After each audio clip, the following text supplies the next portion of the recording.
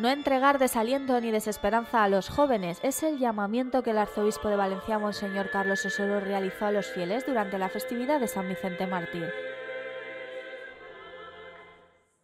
La solemnidad del patrón de la Archidiócesis de Valencia tuvo lugar en la catedral.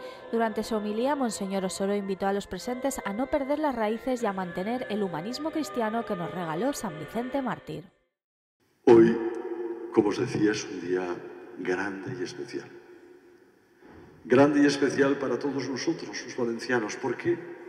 Porque el Señor nos sitúa en los orígenes mismos donde comienza la grandeza de este pueblo con el humanismo cristiano que San Vicente regala y que aquí, de muchas partes, venían por el camino de San Vicente a encontrarse con una manera de entender la vida que es la que yo he querido mostraros a vosotros esta mañana San Vicente mártir, diácono, un joven, queridos hermanos.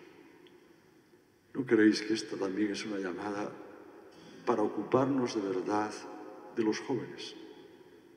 Y para no entregarles baratijas y discusiones y desalientos y desesperanzas. Eso no es cristiano.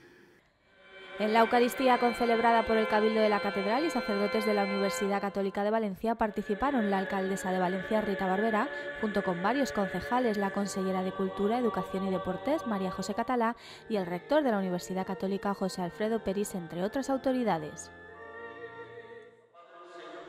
Tras la comunión, la imagen de madera plateada de San Vicente Mártir, obra del escultor valenciano del siglo XVIII José Esteve Bonet, fue trasladada en procesión por las calles del centro histórico de Valencia hasta regresar a la catedral, donde concluyó la misa. Por otra parte, con motivo de la festividad del Santo Mártir, la Universidad Católica de Valencia organizó distintas celebraciones religiosas y culturales para conmemorar a su patrón y titular. Monseñor Carlos Osoro presidió una misa en rito hispano-mozárabe en la cripta arqueológica de San Vicente Mártir, ubicada en la Plaza del Arzobispo. En la Eucaristía participaron miembros del patronato, del Consejo de Gobierno y profesores de la universidad.